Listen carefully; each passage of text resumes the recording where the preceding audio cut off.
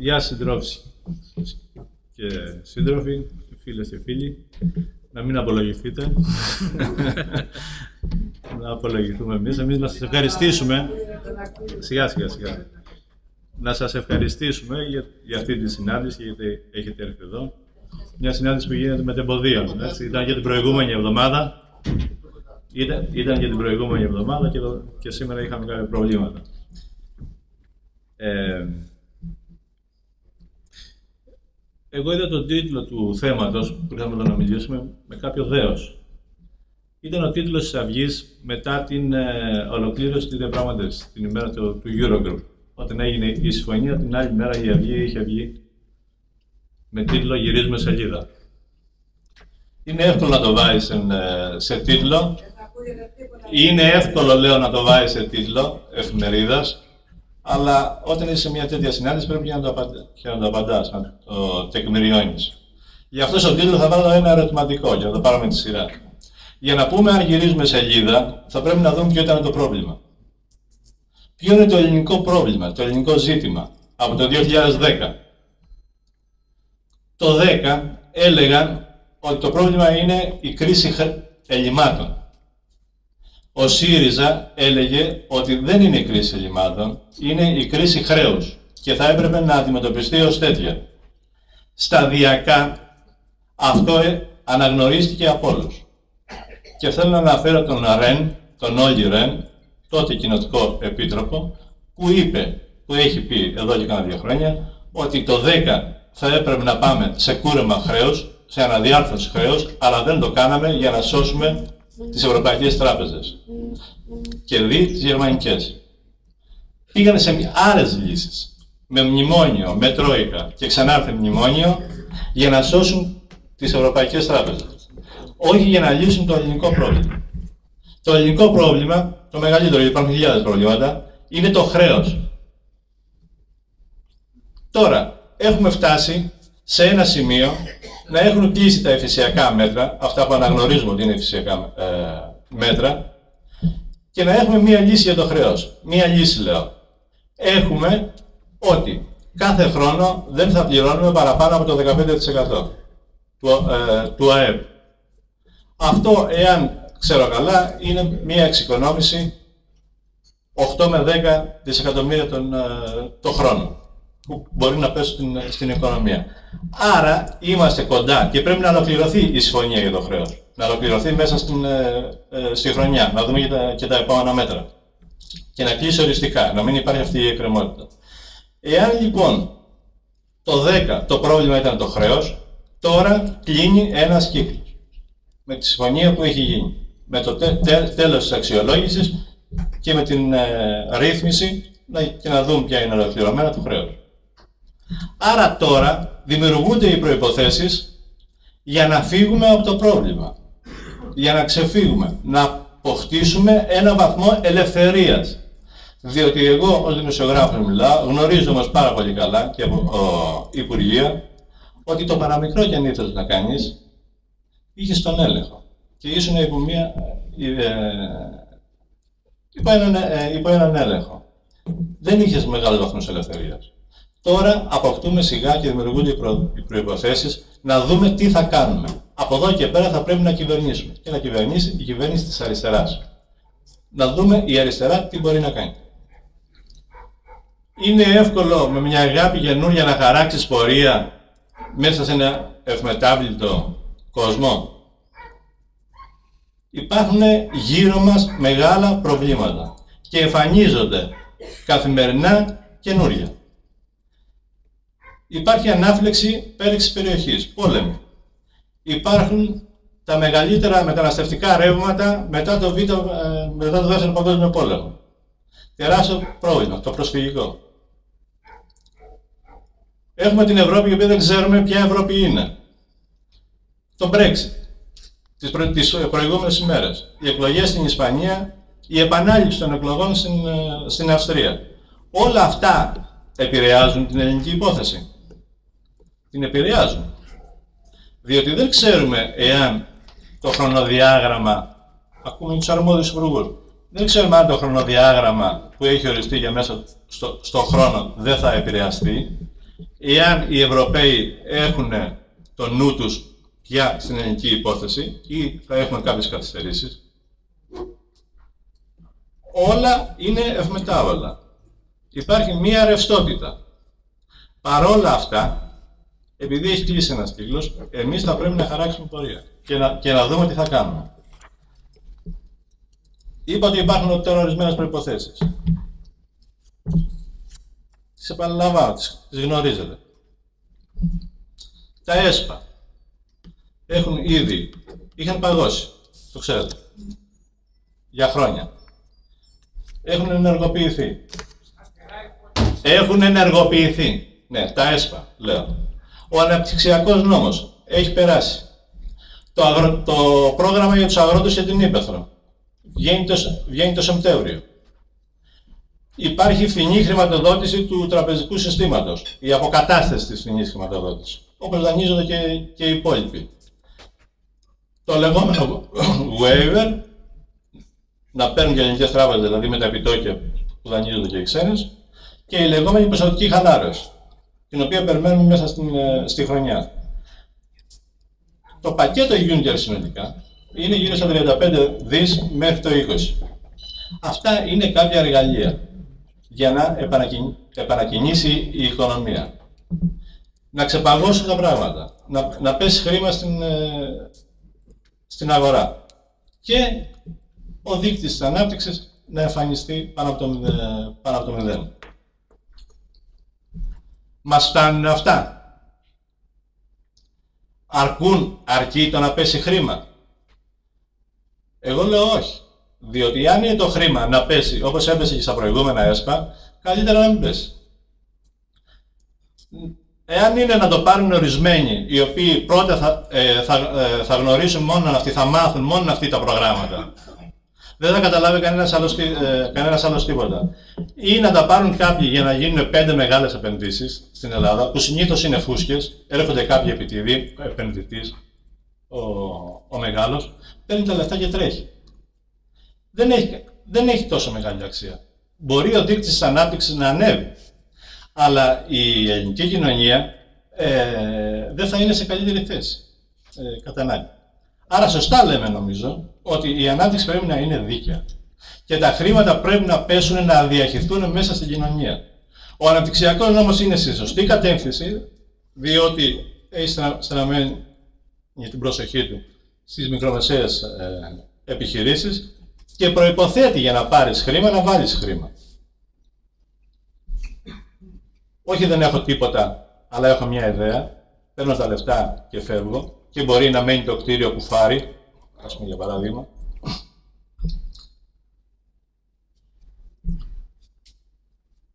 Η αριστερά, όσο τη θυμάμαι, εγώ είμαι πάνω από 30 χρόνια, έχει ένα δίλημα πάντα μεταξύ δημόσιου και ιδιωτικού τομέα. Υπάρχουν αυτοί που κατηγορούνται ότι είναι λάτρεις της ε, αγοράς και οι άλλοι που κατηγορούνται ότι είναι κρατιστές. Αυτό θέλω να το απαντήσω λίγο επειδή και τώρα είναι στο προσκήνιο μια συζήτηση περί ιδιωτικοποίησεων. Μέσα στην κοινωνία, από ό,τι έχω διαβάσει και ξέρω, υπάρχουν πολλοί τρόποι παραγωγής. Εμείς ως αριστερά νομίζω ότι θέλουμε να ενισχύσουμε και αυτή είναι η, στις, ιδέες μας το κοινωνικό τομέα. Αυτό που λέμε κοινωνικό τομέα. Ούτε κρατιστές πρέπει να είμαστε, αλλά ούτε, φιλελε, ούτε νεοφιλελεύθεροι είμαστε. Τα δίκτυα, τα παραγωγικά, τις ε, κοινωνικές δομές, τους συνεταιρισμούς, τις συνεργατικές. Αυτό που λέμε γενικώ κοινωνική οικονομία πρέπει να το ενισχύσουμε. Αυτό το τομέα, τον τρίτο τομέα. Για να υποφεληθούν και οι άνθρωποι, διότι γύρω από αυτά τα δίκτυα είναι άνθρωποι. Μπορεί να μην είναι μισθωτοί, αλλά είναι ούτε μικρομεσαίοι, αλλά είναι παραγωγή. Και αυτό το πράγμα πρέπει να το ενισχύσουμε. Και θα δούμε στο τέλος πώς θα φτάσουμε στο σοσιαλισμό και ο τρόπος παραγωγής θα επικρατήσει. Αλλά πρέπει να ρίξουμε τέτοιε ιδέες. Πρέπει να ενισχύσουμε τα δημόσια αγαθά, κατά τη γνώμη μου. Δεν θα έχουμε κάνει τίποτα εάν δεν ενισχύσουμε την υγεία και την παιδεία. Ξέρετε σε τι κατάσταση βρίσκονται. Και μετά τα μνημόνια σε πολύ, σε πολύ χειρότερο. Και όταν λέμε να ενισχύσουμε την υγεία και την παιδεία, εννοούμε τη δωρεάν υγεία και τη δωρεάν παιδεία. Να μην θέλεις τρει-τέσσερι μήνες να σου κλείνουν ραντεβού για να κάνει μια εξέταση στον, ε, στο νοσοκομείο και να μην πληρώνεις τα μαλλιά της κεφαλής σου για να σπουδάσεις το παιδί σου. Εκεί θα κρυθούμε, νομίζω ως αριστερά. Έχουμε δυσκολίες, δεν έχουμε χρήματα, διότι οι μεταρρυθμίσεις χρειάζονται και χρήματα και πρέπει να το λέμε. Μπορεί να μην μπορούμε να πάρουμε προσωπικό, μπορεί να άλλα πράγματα να μπορούμε να κάνουμε, αλλά τα χρήματα που έχουμε πρέπει μετρημένα να κοιτάξουμε για να δώσουμε προτεραιότητες σε ορισμένους τομείς και να τα δώσουμε όλα. Η υγεία και η παιδεία μας χαρακτηρίζουν. Και τα δημόσια αγαθά, να τα προστατεύσουμε. Το νερό, να μην τα ιδιωτικοποιήσουμε, φυσικά να μην τα ιδιωτικοποιήσουμε. Την ενέργεια. Ε, ορισμένα δίκτυα μεταφορών. Ή, εν πάση περιπτώσει, να έχουμε έναν λόγο ως δημόσιο. Γιατί, εγώ στη δημοσιογραφία πήγα το 85. Γύρω στο 87 πήρα μια συνέντευξη από έναν καθηγητή πανεπιστημίου και έπαιζε τότε το θέμα της ΔΕΗ. Όλα τα προβλήματα έχουν μια ιστορία. Αυτός θεωρείται αριστερός στο πλαίσιο του, του κόμματος και κατά το της ιδιωτικοποίησης της, ε, της ΔΕΗ αυστηρά. Αφού κάναμε τη συνέντευξη, μου λέει: Κοίταξε να δεις, ε, είσαι νεαρός. Εγώ θεωρούμε έτσι και έτσι. Ε, θα σου πω κάτι για την ιδιωτικοποίηση. Δεν είμαι κολλημένος, δεν είμαι φανατικός, δεν είμαι κρατιστής, δεν είμαι τέτοια. Αλλά να ξέρεις ότι η κυβέρνηση και το κράτος πρέπει να έχουν στα χέρια τους ορισμένα εργαλεία ώστε να κάνουν τη δουλειά τους. Εάν δεν έχεις κάποιο πόδι, κάποια επιχείρηση, ένα ποσοστό, μία συμμετοχή κάτι της στην ενέργεια, σου περνάει τότε, ήταν το περίφημο του Ανδριανόπουλου, που αύξησε τη βενζίνη μέσα σε μία νύχτα 40 δραχμές ή 60 δεν θυμάμαι. Πόσο; 60. 60, 60 δραχμές. Δεν μπορείς να κάνεις πολιτική στην ενέργεια εάν δεν έχεις τα ΕΛΠΕ, ας πούμε. Εντάξει, μπορεί να υπάρχουν και άλλες, αλλά πρέπει να έχεις μία. Δεν μπορεί να κάνεις πολιτική αν δεν έχεις ένα χέρι, ένα πόδι να πούμε στη ΔΕΗ. Αλλιώς τι, μιλάς. Βγαίνει ο υπουργός και μιλάει και βγάζει ανακοινώσεις. Αλλά, αλλά την πολιτική την ασκούν οι άλλοι που έχουν τα μέσα. Άρα, υπ' αυτό το πρίσμα εγώ θέλω να υπάρχει το δημόσιο και να προστατεύουμε τα δημόσια αγαθά. Όχι να μην είναι όλα αφημένα πούμε, στο κέρδος που θα βγάλει κάποιος. Και να μην μπορώ εγώ να, να λέω ότι είμαι κυβέρνηση αλλά να μπορώ να κάνω πολιτική. Τώρα, Μπορούμε. Αυτό είναι ένα ερώτημα που, που μένει να αποδειχθεί. Εξαρτάται από εμάς. Αλλά έχουμε άλλο δρόμο. Έχουμε άλλο δρόμο. Μπορούσαμε να κάνουμε ως ΣΥΡΙΖΑ κάτι διαφορετικό. Μπορεί η αριστερά να κάνει, θα μπορούσε να κάνει κάτι διαφορετικό. Θα το απαντήσω αυτό το ερώτημα. Και κυρίως προς τους συντρόφους έχουν αποστασιοποιηθεί και έχουν πάει στο, στο σπίτι, απογοητευτεί κτλ. Εγώ ήμουν φανατικός να θέσει το θέμα της εξουσίας και της κυβέρνησης ο ΣΥΡΙΖΑ το 2011 και ήμουν φανατικός το περασμένο καλοκαίρι ε, να μείνουμε για να δώσουμε τη μάχη. Διότι και τις δύο φορές αυτές έχει τεθεί το ερώτημα να μείνουμε, να πάμε την κυβέρνηση, θα φάμε τη χλαπάτσα. Εντάξει, γιατί να λερώσουμε τα χέρια μας; Γιατί η αριστερά λέει αυτά και να κάνει κάτι άλλο. Να μείνουμε; Να μείνουμε. Να μείνουμε. Και καλώς θέσαμε το θέμα, κάτι τη γνώμη μου και αυτή γίνεται. Και καλώς θέσαμε. Γιατί; Διότι τώρα μας χρειάστηκε ο κόσμος. 30 χρόνια, εγώ είμαι στην αριστερά, δεν μας έχει χρειαστεί ποτέ. Έχω ξεκινήσει από το 1,2 του κούκου εσωτερικού, έτσι, το 0,2 του Μπανιά, του κουκού εσωτερικού ΑΑ και της ΑΚΟΑ και διάφορα άλλα μηδέν. Δεν είχα πρόβλημα ποτέ. Δεν έχω κάνει καριέρα στην, ε, στην, ε, κάνω καριέρα στην αριστερά. Δεν είχα κανένα πρόβλημα με τα, με τα μικρά ποσοστά. Αλλά η κοινωνία δεν μας ήθελε. Και ο συνασπισμός που είχε το, το, το, το 4-5. Λοιπόν, και κάποια στιγμή, στα δύσκολα, λέει εσείς παιδιά. Εσείς. Τι λέμε, ότι δεν λερώνουμε τα χέρια μας. Ότι δεν μπορούμε ότι αυτά που λέμε τόσο καιρό δεν μπορούμε να τα βάλουμε στην πράξη; Όλα, λίγα, τα μισά; Πόσα; Να τα βάλουμε τώρα στην πράξη. Τώρα μας θέλει ο κόσμος. Αλλιώς να πάμε στο σπίτι μας. Τώρα και μετά να πάμε στο σπίτι μας. Τώρα να δοκιμαστούμε. Τώρα να δοκιμάσουμε τι λέμε. Και μετά πάμε στο σπίτι μας. Εντάξει, αλλά να ξέρουμε ποιοι είμαστε. Τώρα θα μετρηθούμε. Τώρα θα δούμε τον πόνο και τώρα θα μετρηθούμε με τα, με τα προβλήματα. Γίνονται προσπάθειες. Δεν γίνεται τίποτα. Γίνονται προσπάθειες. Γίνονται κατά τη γνώμη. Η ιστορία της απλή αναλογικής. Εγώ θυμάμαι από τότε που θυμάμαι τον εαυτό μου, η αριστερά ζητάει απλή αναλογική. Υπήρχε μία μουρμούρα το προηγούμενο διάστημα. Ξέρεις, θα τα μασίσει. Ο Τσίπρας ή, ο, ΣΥΡΙΖΑ. Δεν το βάλει την απλή αναλογική. Εντάξει, προβληματιστήκαμε. Έλα που το βάζει. Έλα που το βάζει, το βάζει ρε παιδιά. Άλλη μια ευκαιρία, ευκαιρία, ευκαιρία, τώρα τρόπο του λέει, το έχω κάνει εγώ ως ε, ρεπορτάζ. Το περίφημο άρθρο 4, που ζήτησε το, το Πασόκ όταν η αριστερά πήγε με το Μητσοτάκι, έκανε ένα λάθος από το, το Πασόκ, ο Ανδρέας του Πανδρέου, και είπε να καταρριφθεί το άρθρο 4, που ήταν κάτι αντίστοιχο του πόνους. Οπότε αντιστοιχούσε την απλή αναλογική. Δηλαδή στην πραγματικότητα ζητούσε να καταλήψουν αμέσως, να φύγουν από την συγκυβέρνηση με το, με το Μητσοτάκι και να πάνε και να μένουν πάνω με το Παπανδρέο, να πάει περί, ε, περίπατο η κάθαρση κτλ. Μερικοί μέσα στο τότε κουκουέ και στην ε, ΕΑΡ το υποστήριξαν αυτό. Έτσι, δεν πέρασαν από τον ε, Φλωράτη του γύρου. Λοιπόν, Τώρα είναι μια άλλη ιστορική ευκαιρία. Είναι ιστορική ευκαιρία. Δεν έρχονται κάθε τρεις και δύο. Ο ΣΥΡΙΖΑ λοιπόν βάζει το θέμα της απλή αναλογικής. Θα περάσει, θα συγκεντρωθούν οι 200, θα περάσει. Συγκεντρωθούν ή δεν συγκεντρωθούν οι 200. Απλώς. Αν περάσει με λιγότερους, θα εφαρμοστεί την επόμενη φορά. Αυτό δεν είναι κανένα δεδομένο, ακόμη και την επόμενη φορά αν εφαρμοστεί. Δεν αναδιατάσσει πολιτικές δυνάμεις. Ναι, τις αναδιατάσσει. Μία πρωτοβουλία λέω από τα πρόσφατα.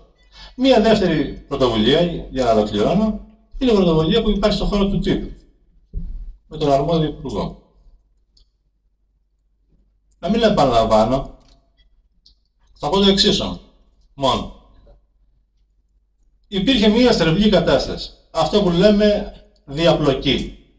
Το τρίγωνο της αμαρτίας. Κανάλια, τράπεζες, πολιτική.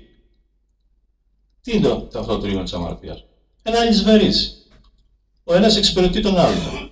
Οι μεν δίνουν λεφτά στους δε και οι δε κάναν την πολιτική των, των μεν και τους ε, υποστήριζαν. Ήταν πλουραλιστικός ο τύπος όλο αυτό το, το, το, διάστημα. Όχι. Δεν ήτανε.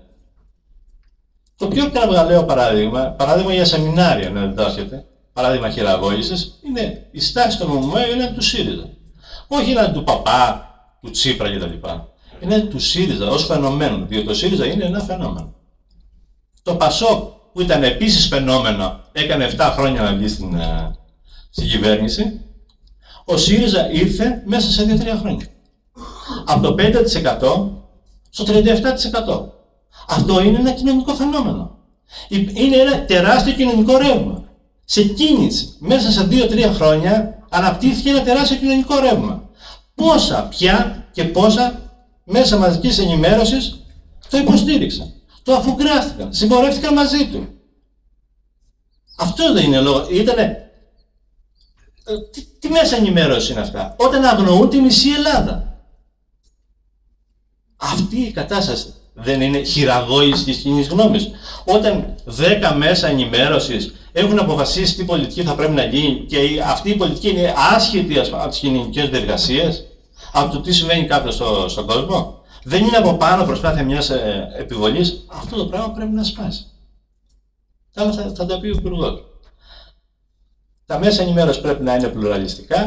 Αυτό δεν σημαίνει ότι πρέπει να είναι πλουραλιστικό. Να είναι και πλουραλιστικό. Έκαστο. Σημαίνει ότι πρέπει να δίνονται οι δυνατότητες και η πολιτεία να φροντίζει γι' αυτό. Να υπάρχουν πολλά μέσα που θα εκφράζουν όλες τις φωνές θα εκφράζουν και θα την προσωπεύουν δηλαδή στην πραγματικότητα την κοινωνία.